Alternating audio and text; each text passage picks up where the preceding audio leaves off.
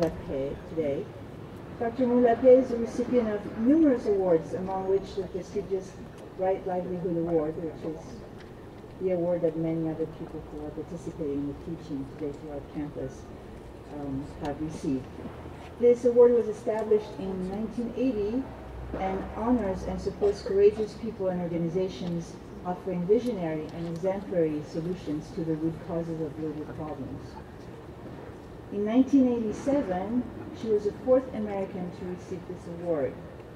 Frankie has dedicated her life to activism, to writing, and teaching. She's the author of 19 books on world hunger, living democracy, and the environment. Her first book, Diet for a Small Planet, was published in 1971 and was a bestseller. To this day, people talk about it, right? It sold over 3 million copies. The latest was released in 2017, so last year, was co-authored with Adam Eichen, and it's called Daring Democracy. Her work has been translated in 15 languages. She holds 18 honorary degrees from distinguished institutions, among which uh, Kenyon and Lewis and Clark Colleges, the University of Michigan. She's held many teaching appointments throughout the world. Um, she is the co-founder of the Institute for Food and Development Policy in Oakland, California. With her daughter Anna, Frankie founded the Small Planet Institute in Cambridge, Massachusetts. This is a collaborative network of, for research and popular education to bring democracy to life, something very you know, related to what we were discussing in class. They also co-founded both of us the Small Planet Fund, which channels resources to democratic social movements throughout the world. In 1990, she also co-founded, I don't know where you found time to do all this stuff, the Center for Living Democracy to spread the, uh, her ideas on democracy. I could go on and on, of course, but let's have her tell us more about her and her work. Welcome, Frankie, and thanks for being with us today. Uh, shortly, we will be able to show the slides that I think will help you follow this talk that I've prepared for you. And um, so let me just arrange my script here. Thank you so very, very much. Thank you for the lovely introduction. And um, I'm going to cover a lot of ground here. And um, I've entitled this talk, Democracy and the Battle for Human Nature. Uh, claim. Um, so obviously democracy is in crisis, not just here in the United States, but in many, many parts of the world.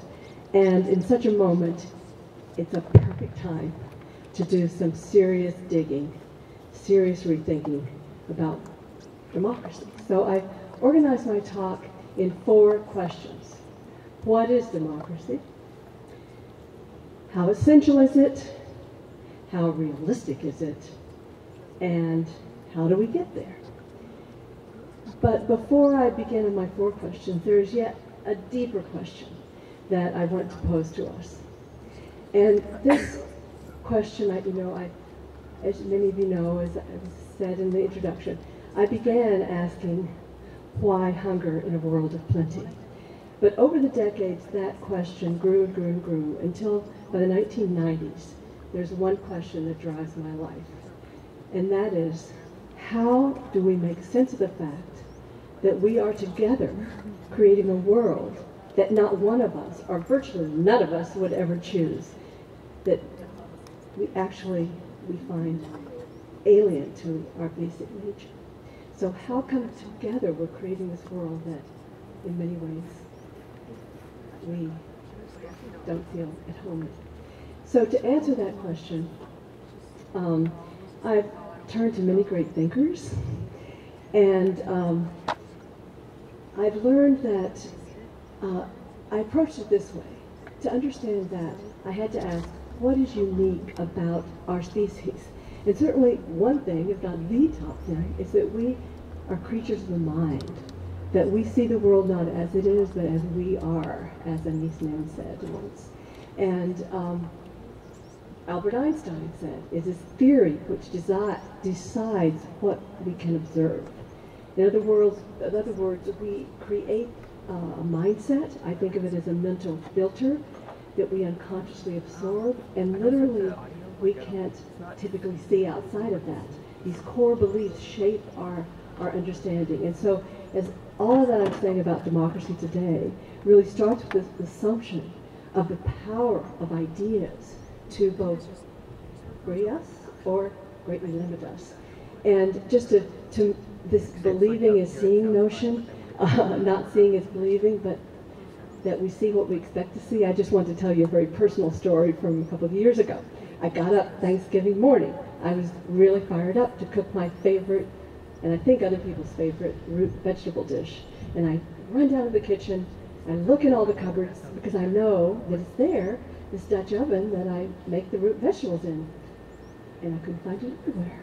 And I got really annoyed. And I went down to the basement and again looked at all the shelves. What happened? Why did somebody borrow it and not even tell me? So I started chopping vegetables. And about 20 minutes later, I turned around and there it was. Only it had a plant in it. Now, I was looking for a kitchen item that you put into an oven, and I usually don't put my plants in the oven.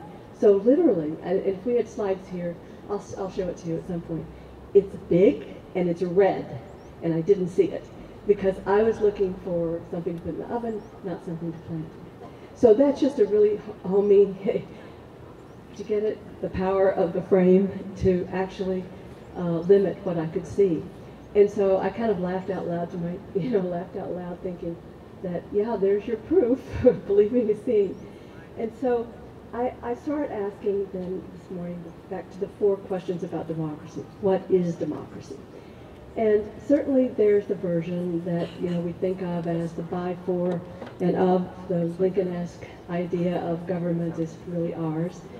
Certainly we hear that.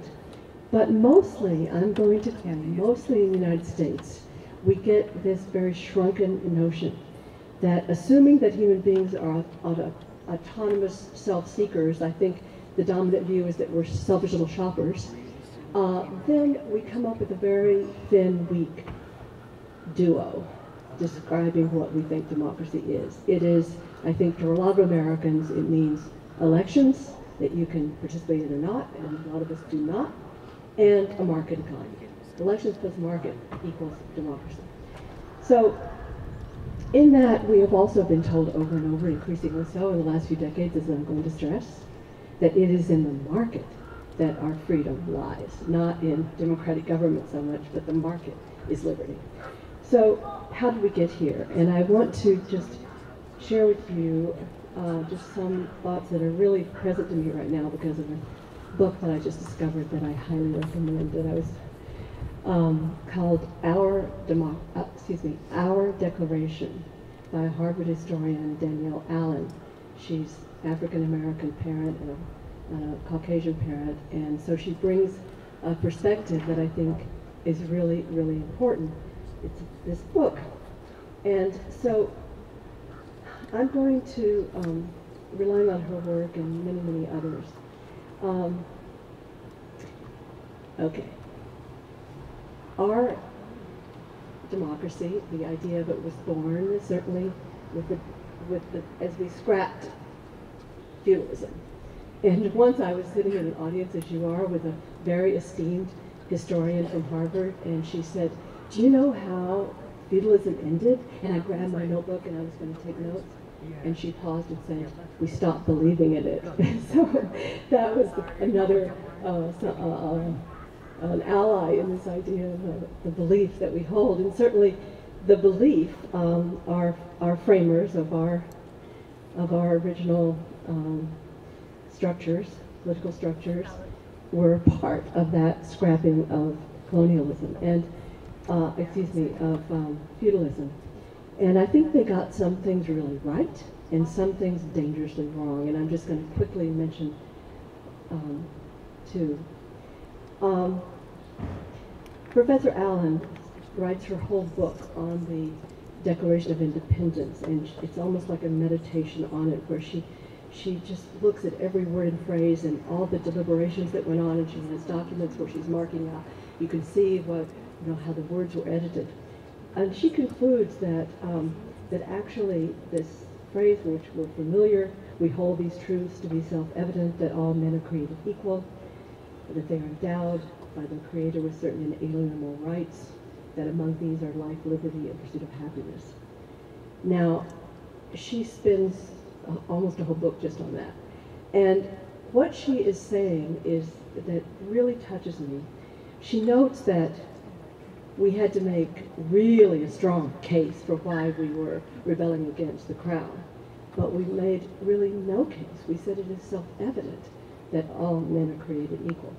And so she she says, what does that mean, created equal? It obviously is not equal wealth, it's not equal this and that and the other thing. What is it? And she comes to the conclusion that this core that they got right is that what they meant by equality is freedom from domination and therefore what she calls equality of agency.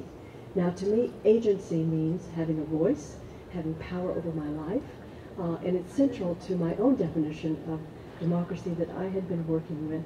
And so it also means to me, and she doesn't use this word so much, is I, I love to phrase it this way because it suggests in the possibility of equal dignity, which to me is the very, very core of the confidence in why I'm so such a democracy diehard, this equality of dignity. And so, um, so from our deeply flawed framers, we received a truly democratic foundational concept if Professor Allen is, is right, and certainly I'm drawn to her, um, to her um, understanding. But what did they get so wrong? Obviously, they excluded maybe 60, 70% of population at the time, all women and all slaves. They got that terribly wrong. Um, but the second, I, I feel, is that the failure the, the, the sort of failure in the very birth of the concept in this country um, was that their premise was equality of agency uh, in political life uh, and fail to recognize um, that, um, that without a broader understanding of equality of agency, that equality of agency in political life, in governance, could not hold. Uh, it was always be in danger. And it's interesting, you know, that I'm sure many of you have read Thomas Jefferson worrying about the, what did he call it, the uh, aristocracy of money corporations that are threatening, you know, to overwhelm our government. Certainly, they should have been more aware, to my view, that uh, democracy in this understanding or equality of agency, uh, equality of dignity, needed to be a broader concept, what I've come to call living democracy as a culture. Now, it's true that over our history, uh, there have been many social movements, especially from the in the late 1800s and on through to the post-war era, that that labor movements, social movements began to uh, claim real equality of dignity and agency in arenas beyond simply voting for uh, governance. Um, oh, wonderful. You didn't get to see my red pop-up. I could show you that later. So. Oh, you. Okay, hold on. Let me just-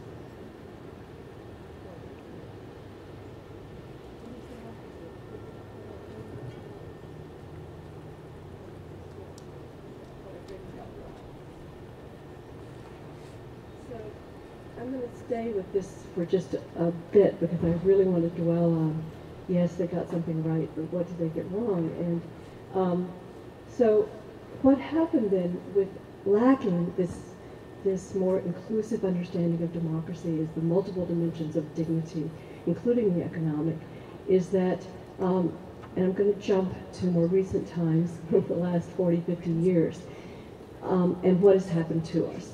Well, this inherited notion of economic life as, um, you know, this is our dominant area of freedom. We are these autonomous units, and we um, we have freedom of choice in the marketplace. That dominant view, that um, in um, let me just take us to about the time Diet First Small Planet was published in 1971. And in writing my most recent book, co-authored with someone, by the way, 49 years my junior, and he and I agreed on every word in the book. He was 23 when we started working together on Daring Democracy. And we then had to come to grips with how did we get so far removed, such, you know, we're now at the lowest level and since polls have been taken in terms of trust in government. Our voter uh, turnout is very poor relative to the rest of the world. How did we get to such a place with such distrust of government? And so much uh, feeling of powerlessness. And so, um, and what struck us was what happened in the 70s and up through today, even more so, is that uh, those who were the pinnacle, had been the pinnacle of our economic system, literally a few handfuls of, of families of billionaires, uh, got very, very worried about what was happening in the 60s particularly with the environmental movement, the women's movement, the uh, civil rights movement. And so we, uh, this is all now in the public record. It's, it's, it sounds a little bit conspiratorial, but it really has been very well documented by, by a prize-winning journalists, for example, Jane Mayer, the book Dark Money. But I'll just give you the headline version that Adam and I go into in two framing chapters in our book, um, that there was a big alarm going off on the part of the business community. Actually, they felt very, very threatened. And they particularly singled out in one forming document Ralph Nader uh, as, uh, as an enemy of, enemy of business. And all he'd done then was to save us from exploding automobiles. But nonetheless, he was particularly singled out. But um, there was the, the Chamber of Commerce in 1971 commissioned uh, a Lewis Powell, who was soon to be appointed a Supreme Court Justice. He was a corporate lawyer. He served on many tobacco company boards. And he created something that is famously known now as the Powell Memo. It's very easy to find online. And many people, including Adam and I, uh, see it as really the, the, um, the playbook, the playbook of what we came to call the anti-democracy movement, that we're still living with the consequences of this very strong movement today. And um, that the, the laid out in the Powell memo is that we must reach, well, change people's minds and pe make people understand that the government is uh, the enemy of our freedom and the more we can limit government from interfering in the marketplace, the better. And so we will essentially uh, let's go from grade school to grad school in influencing how courses are taught and what, and creating new courses, uh, new programs, in fact, in graduate programs, and use new think tanks, the Heritage Foundation, Cato, etc., to put forth this idea of uh, our freedom in the market and government as a threat to our freedom. And um, part of their strategy, the most dangerous part perhaps, is that they uh, saw that the more government could be dysfunctional and could be nasty and unpleasant, the, the more that Americans would be turned off government as a tool for their own expression of their equality of agency, as Al, uh, um, Danielle Allen puts it. And so uh, we found this speech from Newt Gingrich, who later was in the, in the 80s, who later was Speaker of the House, who said that this war that we're in uh, must be fought with this, this contest to actually destroy the enemy that says uh, that government has a really legitimate role and that, and that we should strengthen you know, our voices through government, put that aside.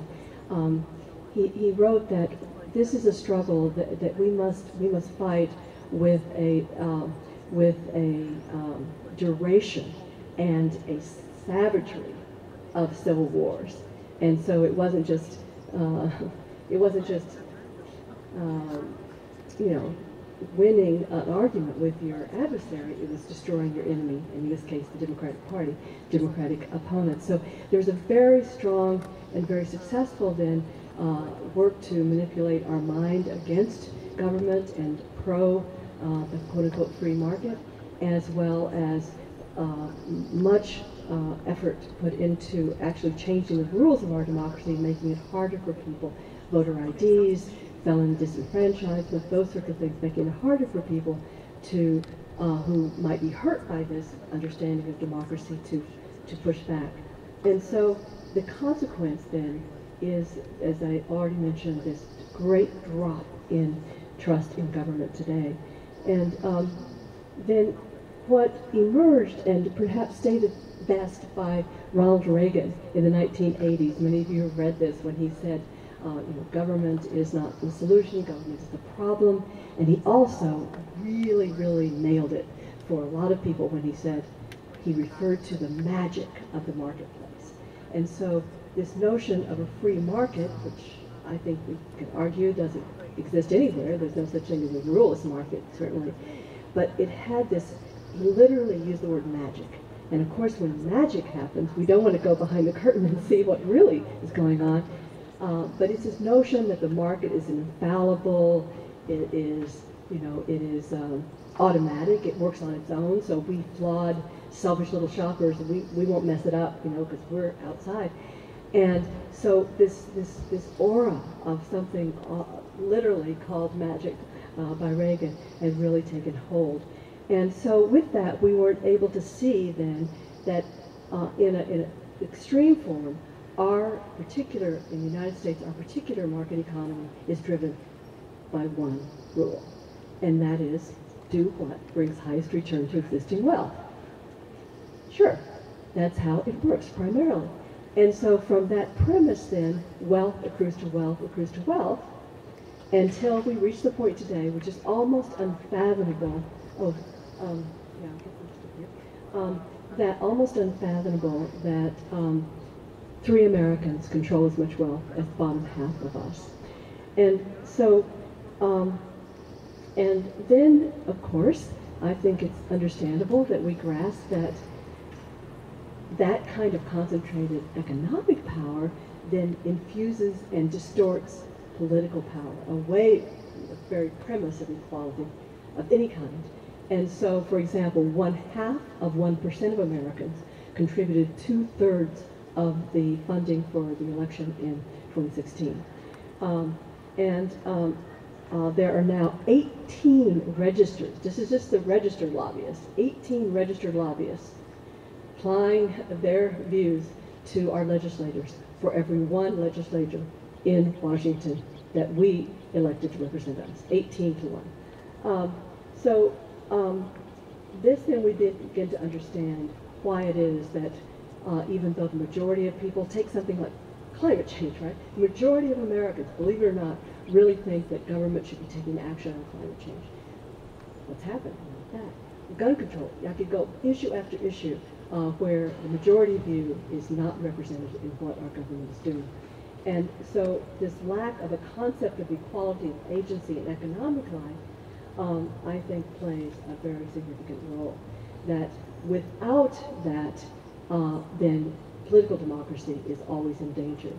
And we cannot see that it's incompatible, incompatible with democracy to have three people controlling half, uh, as much wealth as half of the population of the United States. And I, recently I was looking at, have you ever heard of the Electoral Integrity Project based in Harvard and Australian uh, Anybody here? It's really worth checking out. Uh, I, I, look at it every year, and they look. They looked at uh, 285, I think it is, 200 uh, uh, elections that took place around the world. Um, they, around the world in um, uh, over five years, 285 elections over five years, from 2012 to 2017. And the U.S. 2016 election, in terms of our integrity, and they have 11 measures, they have 3,000 observers around the world, we ranked 130th next to Colombia. And on gerrymandering in the United States, we were ranked at the bottom three. I think only Malaysia was worse than we are. Malaysia has a very big problem with gerrymandering. So it's not like, oh, we're just not quite as good as those social democracies in Europe. No, no, no, no, no. We are way down the list. And similarly with e uh, inequality in our country is so extreme uh, compared, we don't even, not even in the same category as Western Europe. So back to the question, what is democracy? And Um,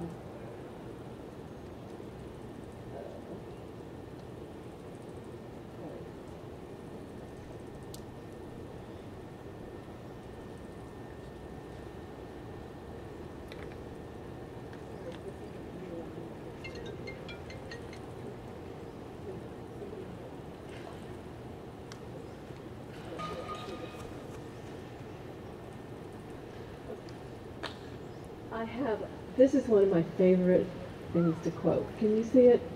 Ever. This is William Hastie, who was the first African American appellate judge in the United States.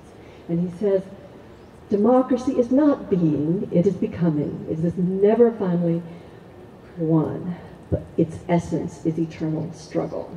And believe it or not, I used to drop off that last line to an audience because I was afraid the struggle would put them off. But I think today we now know it is the good struggle, it is the essential struggle. And um, so he nailed it for me that democracy is not a destination, it is a journey. And what, is, what guides that journey? Um, it is a journey that um, I believe um, really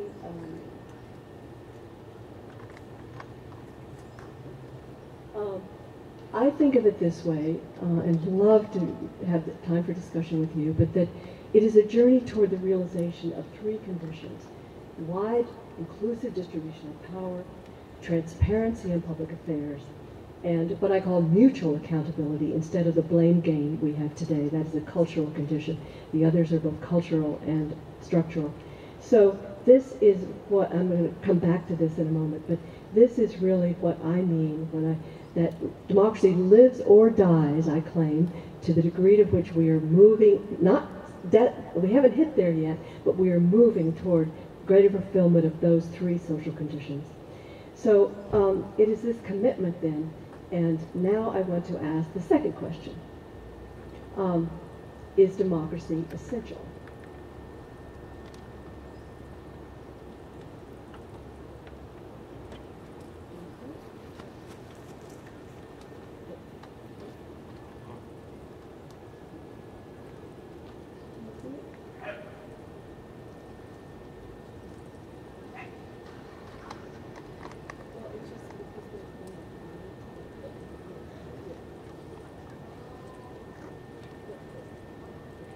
Thank you, thank you. Um, so this is um, the second um, question then. Um, is it essential? So I'm suggesting that we have enough social history behind us that we can say that these three conditions that I've put forth are in fact essential. Now, what I'm really um, suggesting here is that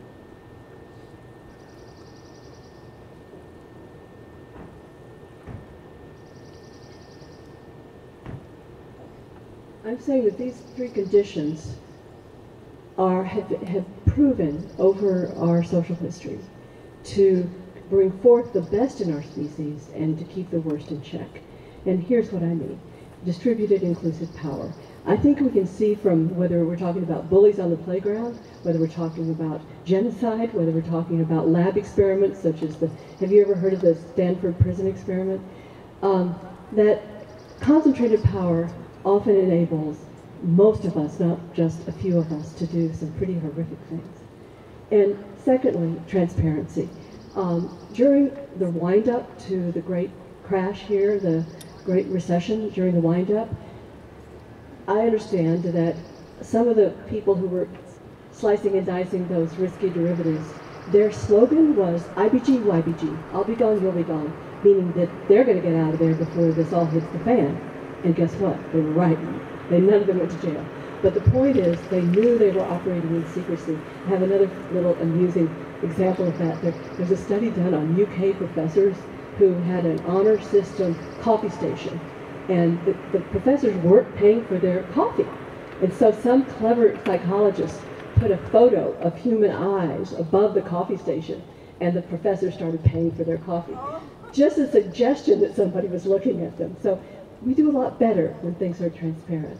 Um, and then the third condition is that I've been calling mutual accountability instead of the blame game. In other words, um, if we all understand that we are all connected, uh, then we're all implicated. And we can't just blame those Wall Street guys because where were we as citizens when we allowed Wall Street to become so deregulated? So we've got to step up as well. Um, and so this, um, this third condition of, of uh, why democracy is essential, that's the point I'm making right now, is why those three elements that I identify as the essence of a democratic culture, why they're essential.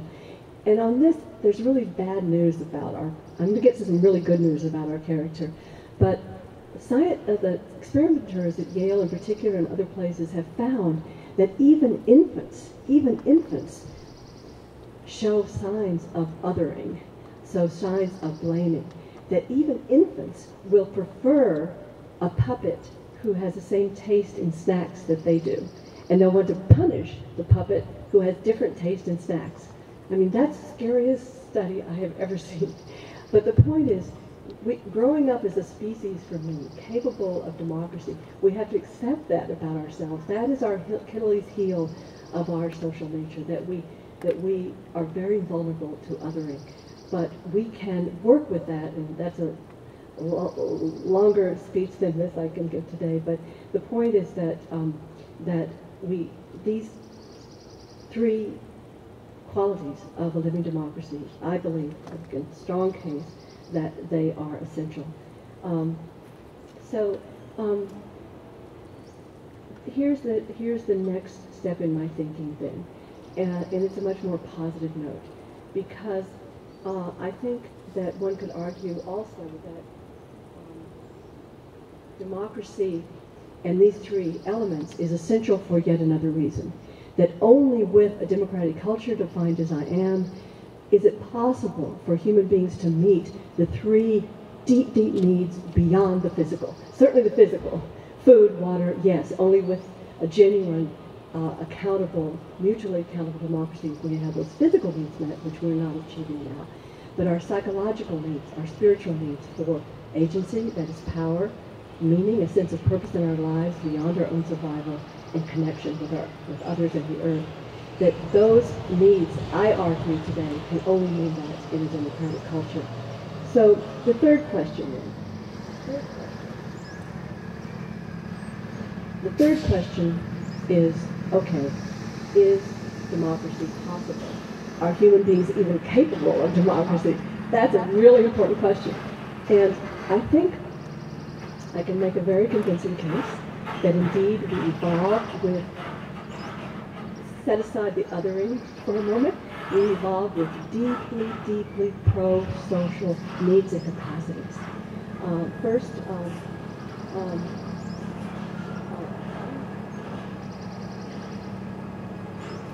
fairness. Even Adam Smith, you know, the supposed godfather of greed, he said, humans are in some peculiar manner tied, bound, and obliged to the observation of fairness. And I don't know if you've seen these studies, but even in other primates, capuchin monkeys are known to throw back a ration that they've gotten from their caretaker if their buddy in the next cage got something a little tastier. That, no, it's not fair. So fairness runs deep, and not just in our species. Um, and uh, this also this sense of uh, empathy toward others. Brilliant anthropologist Sarah Blaffer Hrdy uh, argues that we evolved this deep empathy uh, and capacity for cooperation because we are the only species that trusts others, of the only primate that trusts others to care for our offspring.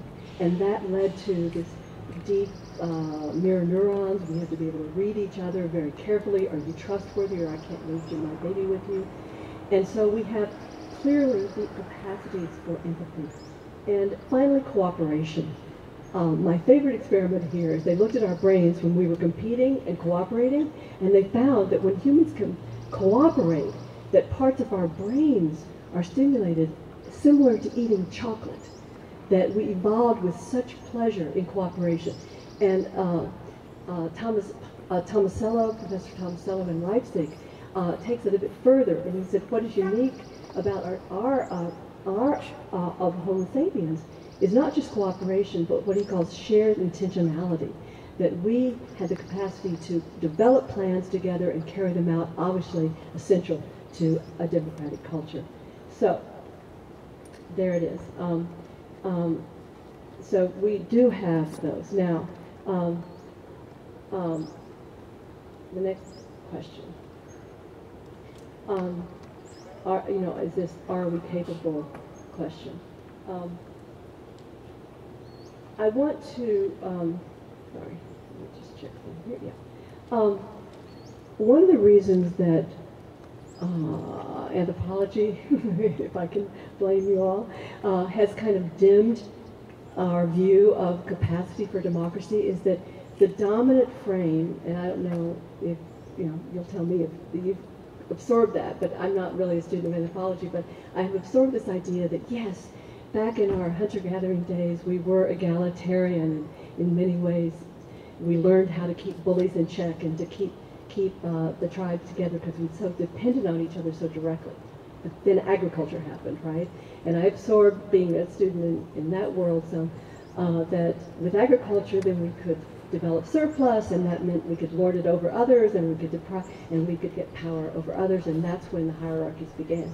Well, I, I, I just read the most um, uh, revisionist version, uh, uh, challenge to that, by two uh, anthropologists, uh, one David Graeber, one David Wengrow in London School of Economics and University College London. And they said, no, it's really not true. When you look at the new findings in archaeological sites, I'll just quote them. They said, agriculture did not mark an irreversible threshold in social evolution. The first cities were often robustly egalitarian. And later they write about cases in the Middle East Neolithic societies look strikingly egalitarian when compared to their hunter-gatherer neighbors. So that kind of shakes up this whole idea that we had this, this uh, sort of this dreamland of egalitarian hunter-gatherers, and but then it all, the fall came with agriculture.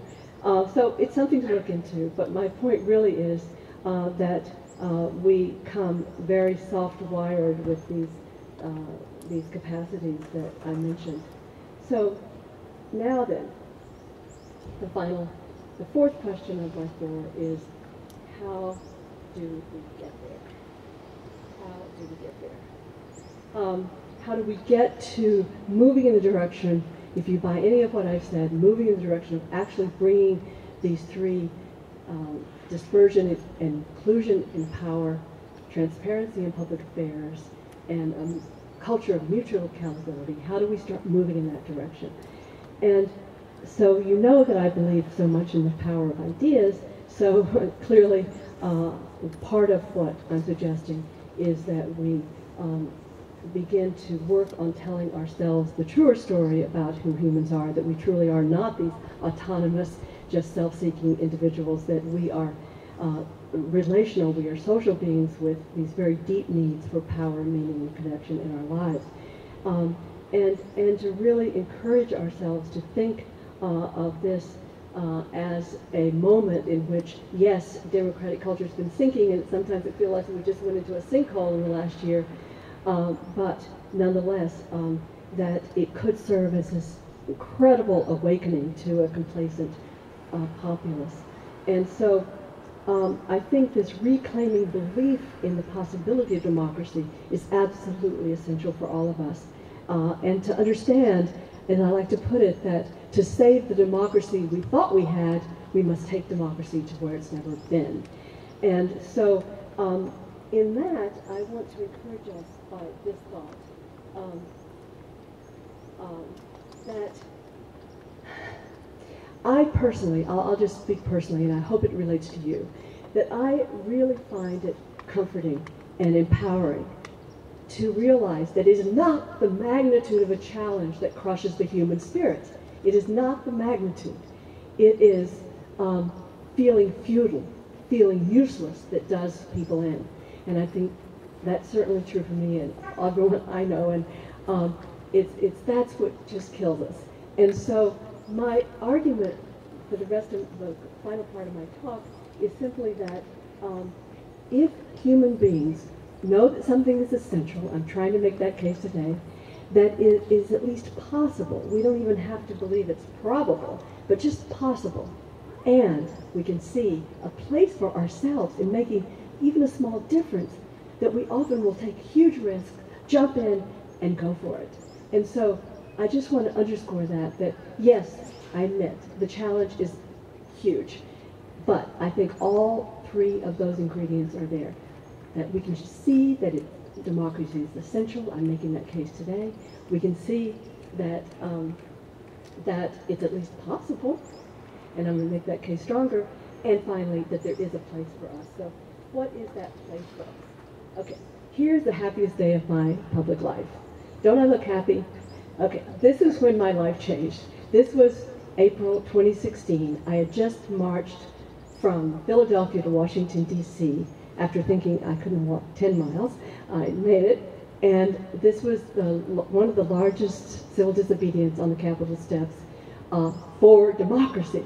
And the reason it was a life-changing moment for me is that for the first time in my life ever, I know, I knew in that moment, and that's why I look so happy, that I am part of something that is the democracy movement, capital D, capital M.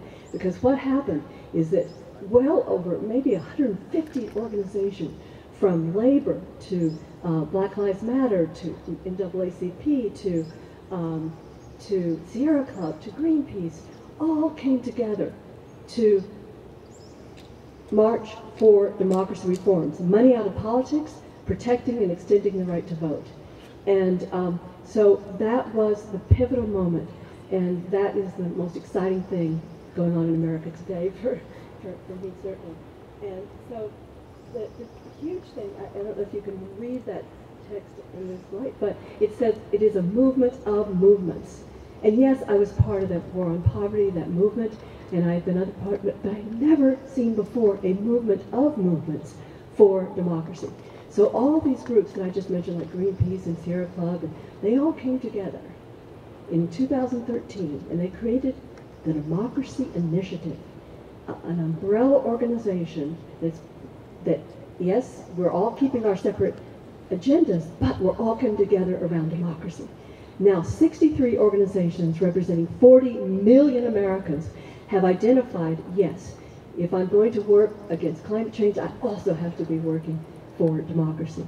And so that, um, that um, is um, really the, the, the, the, the, the, um, the possibility that I see today.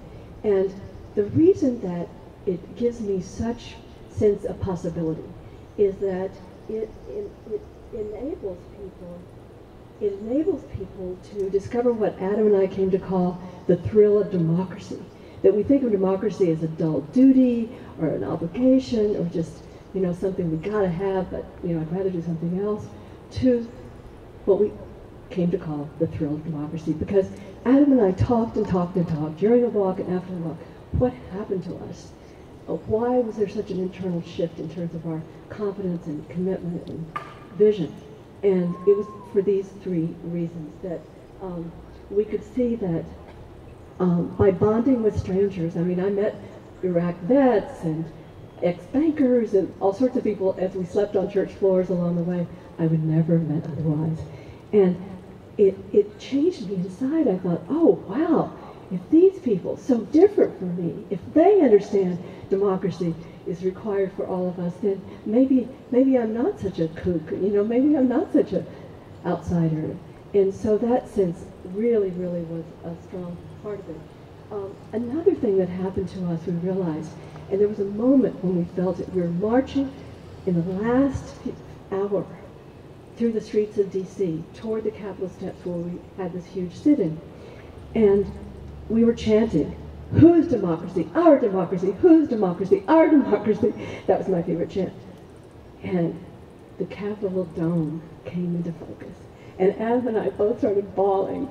And we said, what's going on? And honestly, I could feel like the synapses in my brain were like reconfiguring. And I realized what happened in that moment. I said, oh, those guys in there, well, those people in there, they work for me. I'm the owner of this democracy.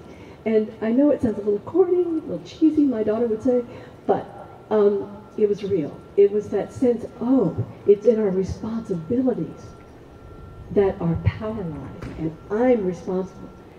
They work for me, and I've got to take charge as the owner of our democracy. And the third element was this notion of civil courage, and I'm going to end there, end in a moment on that note, is um, that doing what you thought you could not do, I'm sure you've all experienced that, how then that gives you the sense, oh, what else can I do that I didn't think I could do? So um, in this, in this movement of movements, expressing the thrill of democracy, our office had this idea if there was just one hub, one place people could come to learn about the democracy movement, figure out how to plug in.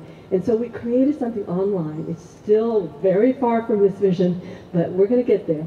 It's um, fieldguidetodemocracy.org. And you can see all the different organizations lining up. And eventually we're going to have this mix and match so you can put in your zip code and make it really, really interactive to what's happening right here. And who, how to find a mentor, how to find a buddy, and how to register your brave actions. All of that is going to come to the, to the site, but at least we've got a beta up. And um, the other piece of this is that on this site, this is just a hint of it, uh, but on this site, you'll be able to see the kinds of changes that are underway that across all dimensions of the democracy deficit addressing them. For example, you can read about something called democracy vouchers in Seattle, where every citizen gets four uh, uh, vouchers, four each worth $25, that they then, at last uh, uh, city elections, they could, could assign to the candidate of their choice, called democracy vouchers. And it brought so many people into the process, including many more young people, many more people of color, and the people who, who received them were the winners, not the people who took private money, but the people who took the, the citizens' money, the democracy vouchers won the races. And now this approaches a bill in Congress to introduce this at some point soon. Uh, and uh, I want to shout out here also to California because one of the things we learned about California is you have one of the most interesting and exemplary uh, new um, commission for redistricting to avoid partisan districting. And I got to see a presentation by uh, the folks who are members of it, and they said that to, to create this, this really uh, impartial districting commission so that you don't have gerrymandering in California, that's the goal, that the last stage they actually had one of those tumblers that you see in a bing, um, in bingo game where you just random number gets pulled out.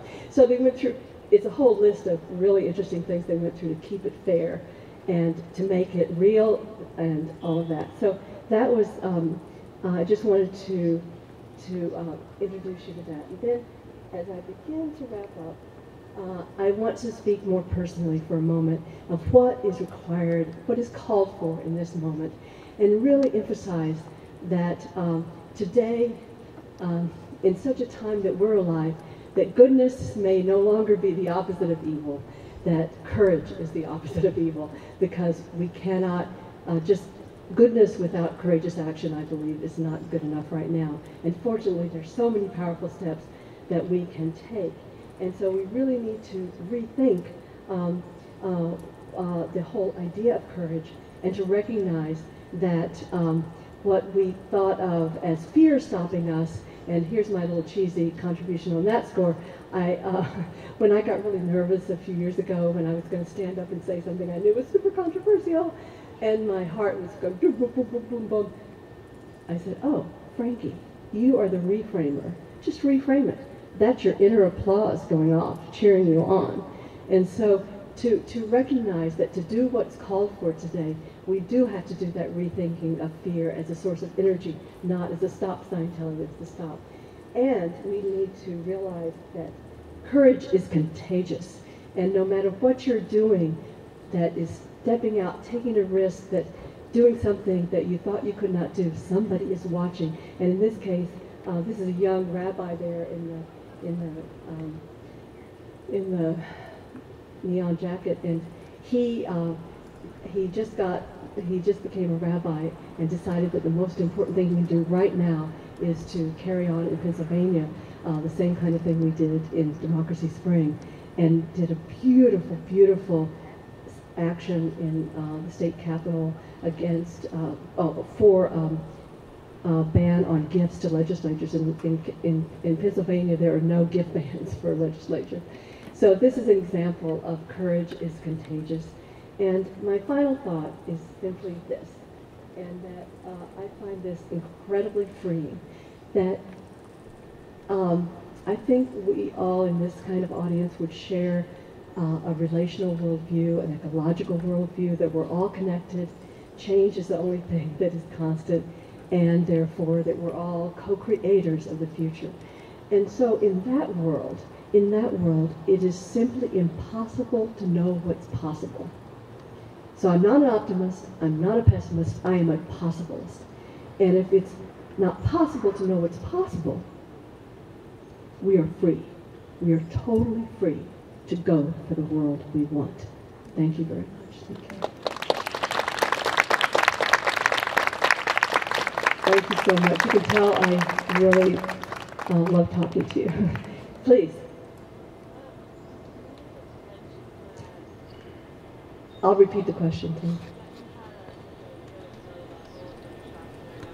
Yeah.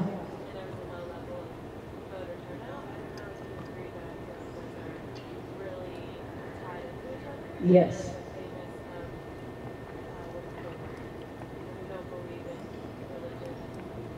Atheist? yeah,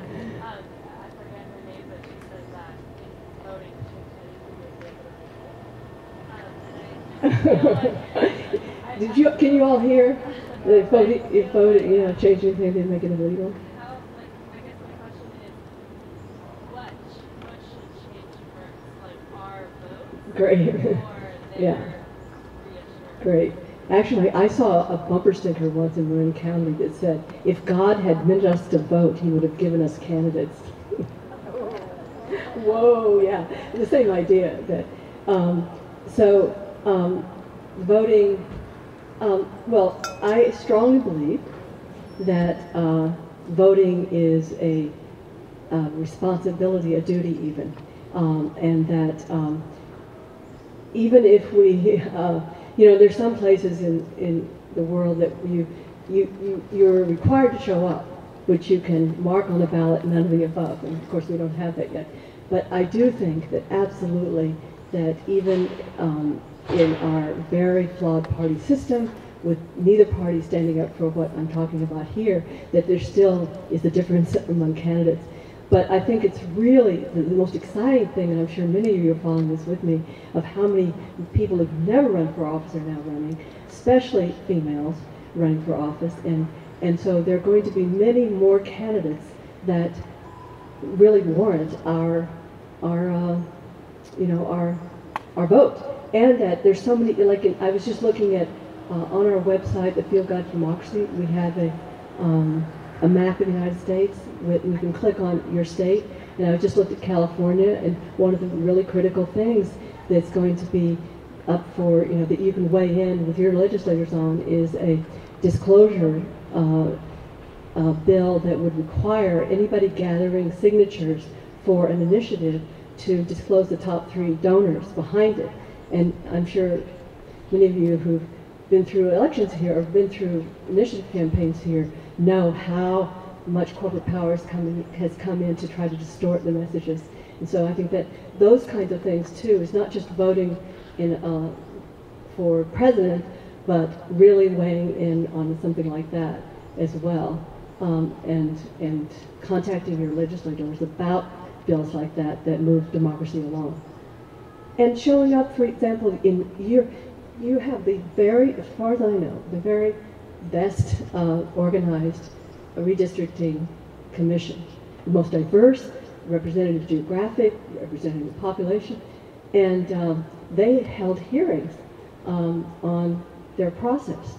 And that's an incredible opportunity as, as you as citizens to participate and to have your voices heard. So when opportunities like that arise as well. So am I, I'm not sure I totally answered your question, but, um, and just remember that you are all influencers and you, you know, for your friends who are despairing or your friends who are just pulling away from any engagement, I hope that, that there's messages here and our book, Daring Democracy, would give you some, um, you know, some, some ways to, to make clear, you know, what, what voice, what power we do have. And uh, this theme of it's not possible to know it's possible. Because really we, you know, it, I, I'm 74 and, and I love being old because now when I say, oh, in my lifetime, I've never seen anything like this, you know, it really has weight. And so I feel like in my lifetime, this is an extraordinary opportunity because people are so disaffected and so eager for something that seems real and there's a place for them and it's essential to do. But please, um, more questions? Yes, please. I'm sorry, I can't. Um, but when you participated in the march, part of me started to feel like you own democracy. And I had a question about who can own democracy? Is it like only citizens of the country? Is it residents? Or is it people with like the democracy? Can they also own I was talking about that, that, that when it dawned on me, wait, you know, they work for me. I'm the owner of this democracy. Well, who are the owners? Is it just people who can vote as citizens? And I think that, you know, I hope I make clear that I see democracy as not simply a structure of government that we vote for. It is a culture.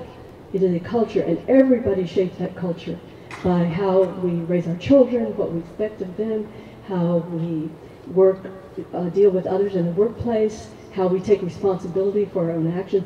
All of that is shaping a democratic culture or a culture of fear, you know. And I think whether or not one can literally vote, one can uh, be engaged and have influence. And um, so I, I think um, in that sense we are all owners of this culture, we, even if we can't literally uh, help choose who is elected to office. And since I'm arguing that democracy is a much broader uh, concept and essential need than simply the political, it also has to do with economic life. I just point to Jackson, Mississippi now, which has leadership in, in making progress um, uh, across the board through worker ownership, through co-ops, through uh, land trust in a number of ways, and we can all participate in those things. One needn't be a voter to do that. So thank you for that great question.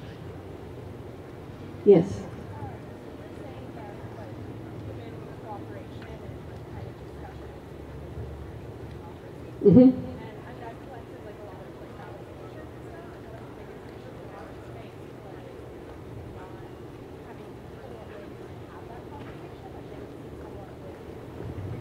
Right. Right. How would you suggest sort of like confront those scenarios, or how do you get to when when you kind of start to as a whole society That's another really tough and really great question. Uh, you know, people are so disaffected now, and uh, politics has been made so nasty that a lot of people. I've just kind of said for those who didn't hear, you know, just what, how do we engage with it? And I think that um, the more that we can create opportunities for social encounters, that the more that we can invite people to things that you know, share sharing food together, sharing uh, any kind of interest that we can bring, uh, and then um, in that context where people feel safer and and can recognize that we're just people like they are, you know, to bring up uh, this alternative way of thinking about it, and whether we disagree or agree, that the value of um, our voices, making that clear, that not just that checking out is checking. Just I always say the only choice we don't have is whether to change the world, because our inaction, just as much as our action, in some ways, is also shaping the world around us. So, to, really help people understand that yes, we agree things are really nasty, and we can we can still have a voice, and um, and showing that the dignity has become my key concept now in my life is what is it that allow, allows people to move from feeling humiliated and left out, which I think is so much of what happened in the Trump election, to feeling that they are respected as people worthy and and uh, uh, having dignity. So that's not really a very uh, in, um, specific answer to your question, but um, I think uh, that uh, that that spirit of it, and and of course, the more you know, I'm, I'm thinking the more that we exude enthusiasm, and I, I, just looking at you, I think you would naturally do that. You know, enthusiasm and a positive spirit about it. The more people who are disaffected to say, "Oh, she's not angry. She's excited about this." You know, she's not out to prove me wrong. She's she's just really excited about being and having a voice. And I think subtly, even if it's unconscious in some way, that people say, yeah, well, I kind of like to be more like that myself. Because we are social mimics. And so the more that we can be that way, the more I think people will want that. You know, they'll want to be in that energy. And, uh, and I would say also on this theme of courage is contagious, and it's a little bit of a tangent, but I think it's related. You know, how do we gain more courage to, to go ahead and put ourselves in that awkward situation? It's I, since we're social mimics, I, I often say to myself, I just need one person more courageous than I, and then I'll become more courageous by hanging out with them. And then sometimes I say, marry them if you can. You know, get that courage really close in. So, um, you know, that, that you can model that, but you can also look for those who, you know, you're, you're, who are a little more risk-taking in this way or than you and, and hang out with them and grow that, grow that sense. Yes, please. You know about the R and R, the resist and replace group? No, tell them, tell Yeah, that's kind of a wonderful, hopeful thing. And in my community, and 500 other communities around the country, there are R and R resist and replace groups, which means uh, they've been running for over a year. And uh, our local one, and I think many of them, meets every single week at the home of a different person. There are a few dozen of us. And we, we have lunch together and we spend two hours. In the first hour, we get a speaker in from the local political scene. We interview every candidate who's going to run for office and we talk about people who are doing progressive things in our community, how we can help.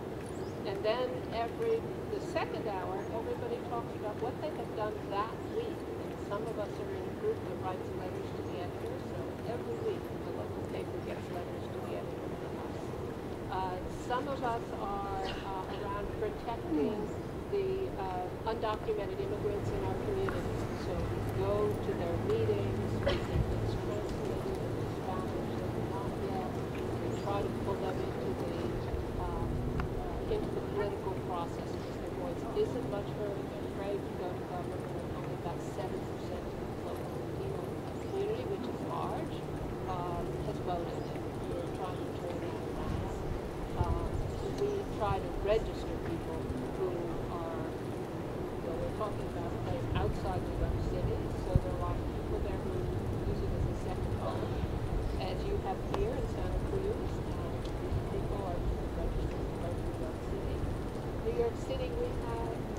Progressive people representing the city Congress, and we're going to have hundred thousand fewer voters to have that kind of representation. And because the city is so big, big, statistically one vote counts less. If you register instead for a small community like Santa Cruz, the vote counts a lot more. And then it happens that we have a terrible representative in the, in the local community, in our district. And so we're working very hard canvassing and supporting uh, progressive candidates. So if you don't have, see if you've got an R and R group near you, and if not, you can go online, find out about it, and start. Wonderful, great, great example. Um, this is how the power of community, and uh, thank you, Alice. That's great to know about, and we'll add that to our Field Guide to Democracy website. So, um, yes, please. There's also another movement within the movements, and uh, started out with a group called Living Room Conversations, Living room conversations. Uh huh. and now I think there's several others. And what they do is bring people together who have different views, it's a structured situation where you actually express your views. Uh-huh. You can hear the different views of other people, and eventually you can begin to understand each other's views at least. And maybe even convince, you know, the other person of yours, but doing it in a situation where you are, you know, reasonable and not yelling at each other and not Uh-huh. getting angry so that we can start communicating. Fabulous, fabulous. I want to point out that on that march, the Democracy Spring March, there were people from the Tea Party. Actually, there was a, one of the founders, and that it, we, in all that we're doing, we're trying to uh, have that exactly what you're describing, that spirit. Yes, please. um, what, what you're talking about culture of democracy, um, like when I've done a lot of canvassing, what's great is that when I've been canvassing, it's like I have a thing that I'm about. And then the first thing they do, they go, well, I don't care about that. And I go, okay, well, what do you care about? Uh huh. It- it- Good. So, like you were saying, when you get energy, when you're positive and you're actually open enough to listen, I think most people don't ever feel listened to. Exactly. And I think, like I was in a political group doing anti-fracking work, and a lot of people wanted to take it over. They said, we need leadership, we need an executive committee, we need people who are going to make decisions. And they were like, wait a minute, is this a democratic group or is this corporate, uh, you're recreating your corporate structure? That created a discussion. Uh huh. Uh huh. It fractured the group. A lot of feelings were hurt. But ultimately, the thing is, having being for something, like um, there was just a strike here on campus. A lot of people were striking because there's a lot of people who work here who barely make enough to live in the county. Maybe- Actually, they don't make enough to live in the county. But there was a lot of student support for it. Mm-hmm. And so the beauty of it was there's a conversation right there Mm-hmm. and and it's great like you said when you go and listen it's like well okay why are you striking so it's great when people are for something and i think that conversation thing sounded really cool Yeah, absolutely. Be- because it's, sometimes it's hard to be in a situation because everyone's really defensive Mm-hmm. around the stuff that they think they really believe in Mhm. and then they think you're against it and, you know, you're in santa cruz and i said dude i didn't live here my whole life you know i lived in the midwest you know i'm running around hunting and guns and four-wheelers and beer and people who don't give a shit because they think the government doesn't care and i'm like well i mean we're the government and i care about you so Mhm, tell me mhm. what's the deal and to me that's the culture of Yes, democracy yes, yes, yes. I, I love, I love your, all of your contributing, and it brings to mind another thing that we could, being here in California, uh, there's a particular example that I find so inspiring now. I'm reading a book called Refinery Town about Richmond, California. Are you all aware of the uh, about 20-year effort there to create the Citizens Alliance that is bringing together union people, um, environmental justice people, immigrant rights people, and uh, have been able to get elected to the majority of the city council despite multi-million dollar campaign backed by Shell Oil.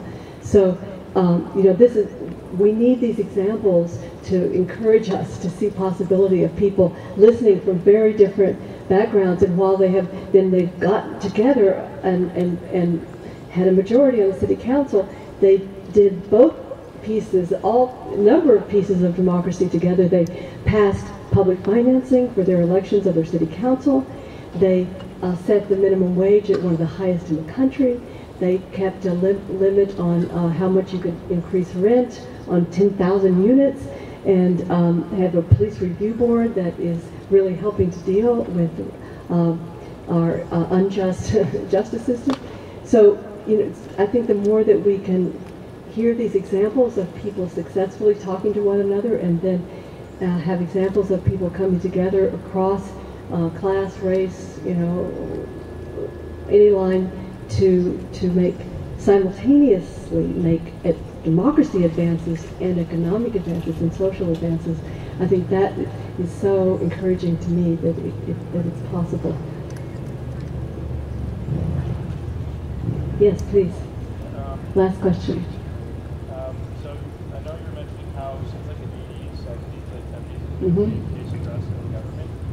Um, I know that's not always been the case. You think that in order to get back to like the populace that trust the government, there would be a moment of crisis in order for that to think like people to come in, like whether it be economic or environment, or do you think it's possible through like to be laid out of like Well, I think that, that it is possible that this moment of crisis can, uh, that we are then motivated to uh, change the rules of our political democracy so that we can have trust in it. Um, that is foundational, and so in our, uh, I, um, I don't want to push my own book too much, but I will say in Daring Democracy, we, a really short book, really pointed. Uh, we we, we uh, tell the stories of the successful reforms in getting money out of politics at the state level, uh, city level, uh, protecting voting rights. There's now, because Oregon took the lead, automatic voter registration uh, is now in 10 states plus DC, and that happened was just been, and we know that with, with automated, actually the term is changing now to automated voter registration, that more people get registered and more people vote, and, and often people uh, uh, who wouldn't have voted, you know, who would be blocked by the anti-democracy movement. Things like uh, felon reenfranchisement now has 71%, uh, is polling at 71% in Florida to re-enfranchise 1.6 million people in Florida. That is a game changer. Most of them African American would be re-enfranchised. At, they paid their dues to society, uh, and and they were still denied the right to vote, and that could change that. So uh, I'm kind of going off here on your your comment, but um, you know I do think that um, that um, sorry I lost my train. Remind me what you said. Is it necessary for there to be like a big crisis? Yes, yeah, okay, that's what, yes, I think we recognize we're in crisis, but what we don't see, and what I'm so passionate about, is that, that uh, we don't see this rising democracy movement and all these different kinds of examples around the country. Um, and so I think all of these, whether it's felon reenfranchisement, uh, uh, automated voter registration, so that you know people aren't being shut out just because poor people of color, that that restores, this is my link I was trying to get to, begins to restore trust in government, and gradually we can begin to build. I know there's a movement in the country. I just went to a conference at Harvard. They're uh, part of it. It's um, it's a move. It's a contest among colleges to try to get, I believe, 80% of the students, some some large percent, to vote, and uh, the, the all-out campaign on the campuses.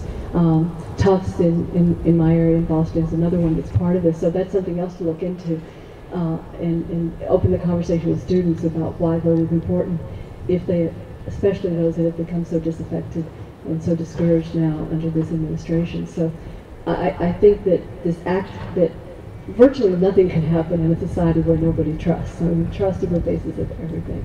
But it's got to be based on something real, and I, that's why we hope our field guide to democracy, people can see that movement and find a place for them in it, and all the examples that were brought up, the living room discussion, the uh, resist, what, is, what was it called? Resist? Resist and replace, resist and replace. Um, all of these are part of that rebuilding trust because people see that they do have a voice and can have a voice together in community. So thank you so very much. Thank you so very much. I so love to talk to young people now that I, I've had a co-author uh, relationship too. I just want to say on that that I think another thing that's really special is the intergenerational aspect of the democracy movement. Uh, that I think my experience is not unique, and and and uh, we had kind of had a snotty attitude, you know, in the '60s, right? Anybody over 30 we couldn't trust, and I don't feel that with uh, younger people today. And I think get, get, gives us a lot of power. So thank you.